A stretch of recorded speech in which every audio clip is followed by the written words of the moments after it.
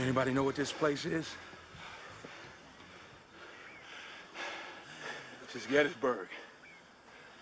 This is where they fought the Battle of Gettysburg. 50,000 men died right here on this field, fighting the same fight that we're still fighting amongst ourselves today. This green field right here, it's painted red, bubbling with the blood of young boys. Smoke and hot lead pouring right through their bodies. Listen to their souls, man. I killed my brother with malice in my heart, hatred, destroyed my family. You listen. A lesson from the dead.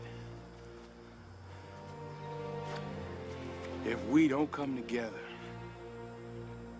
right now on this hollow ground, we too will be destroyed. Just like they were. I don't care if you like each other or not, but you will respect each other.